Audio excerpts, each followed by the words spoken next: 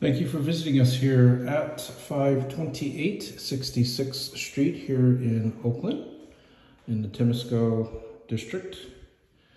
We have a good sized one bedroom apartment here.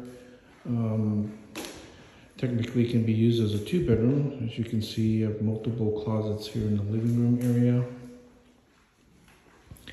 Good size closet also in that small entryway as well for additional storage.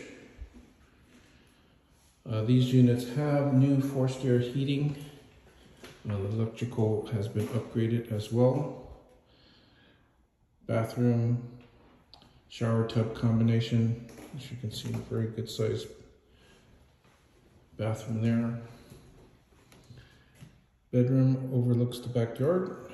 Backyard does have a common area it has grass. Uh, this is a four unit building with a cottage in the rear.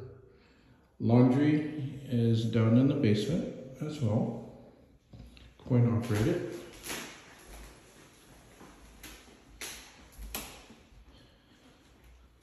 Nice little eating area off to the kitchen. Kitchen was updated at one point. Good granite countertops.